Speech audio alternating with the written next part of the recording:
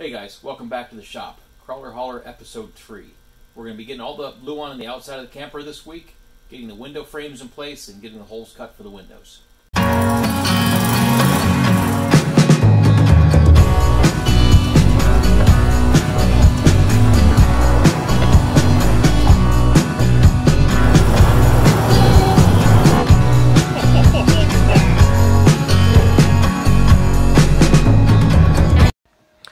As I was editing the videos this week, I found that it's really pretty boring.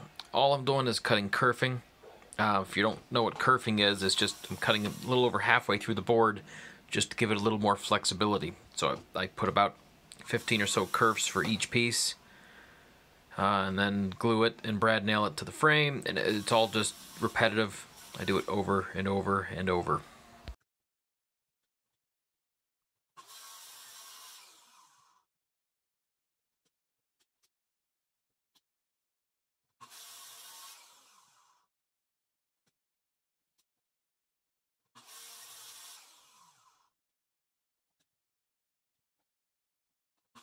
So the distance from the edge of my blade to the edge of my base plate is an inch and three eighths. It's a really good step over for my kerfing. It allows me to line up my straight edge with the previous cut. It gives me that same inch and three eighths step every time.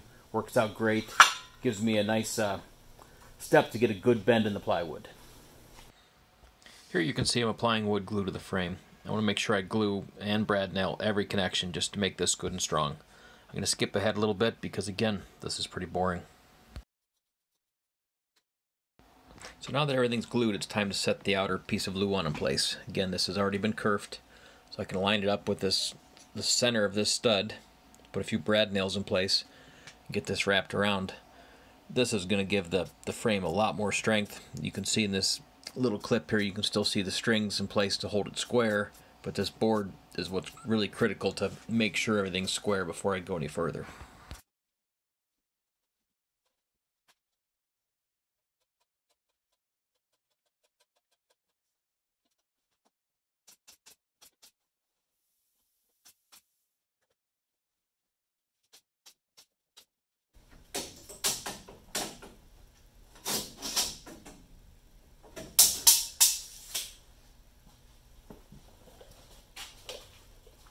Alright, so just measuring out where we're going to place the kerfing on this next sheet. We're going to put a full 4x8 sheet up there, so the kerfing will start about 20 inches up based on that measurement, and then about 20 inches of kerfing to get around the radius. So the 4x8 sheet didn't work. I found out that you have to kerf in a certain direction with the grain and, and going sideways, cutting my kerfs the full 8 feet just didn't work. It cracked, wasted a whole board. So you can see here I'm cutting the kerfs on a half a sheet, so 4 feet wide, so the curve direction is going the right way. So this sheet also cracked when I installed it. It just didn't bend around the radius like, like other sheets had, so I ended up having to scrap this piece and start another one.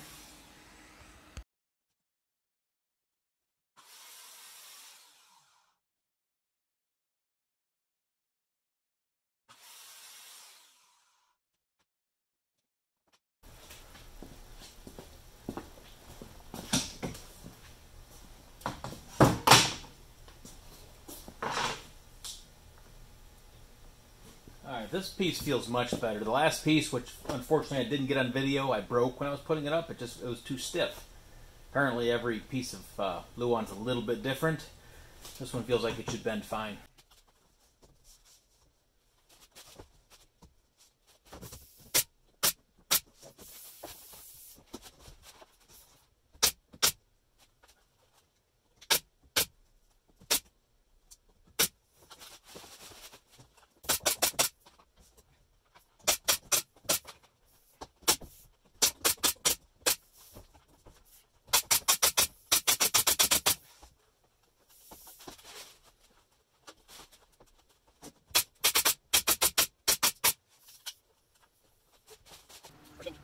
Here we go again. More gluing, more of the same.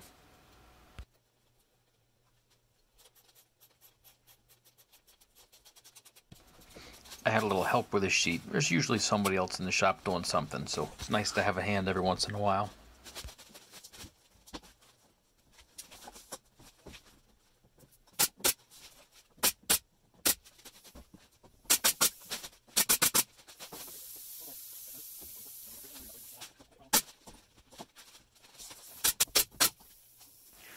Guess what I haven't explained here is you can't really tell from the videos, but this this piece that I put on extends down below the joint to the floor. So this brad nailed to the sides of the floor, not just to the studs. That helps tie the walls to the floor just a little bit more.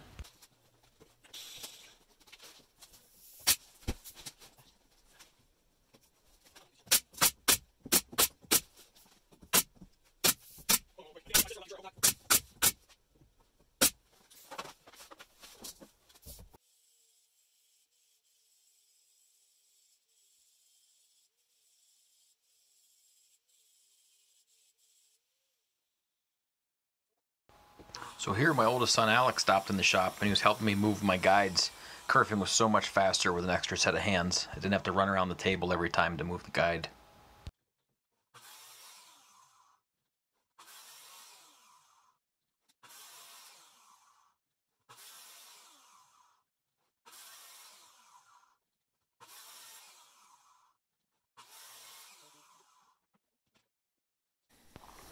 All right, here we're gonna do a little walk around just to show the curves.